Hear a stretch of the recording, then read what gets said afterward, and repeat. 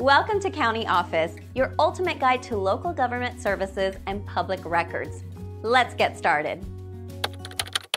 How to keep a fireplace going all night?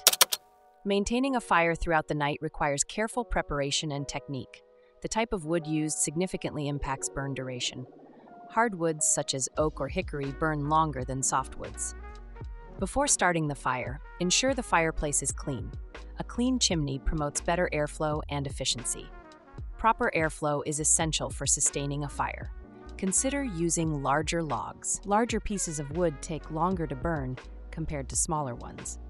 The arrangement of the wood also matters.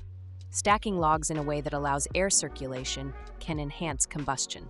You may want to start the fire with smaller kindling. Once the fire is established, gradually add larger logs. This method ensures a steady burn.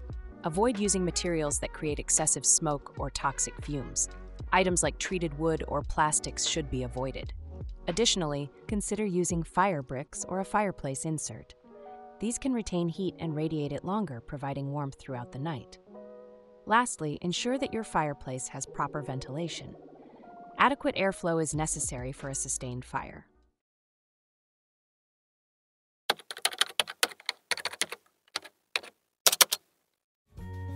To learn more, check out these links, which you can click in the description below.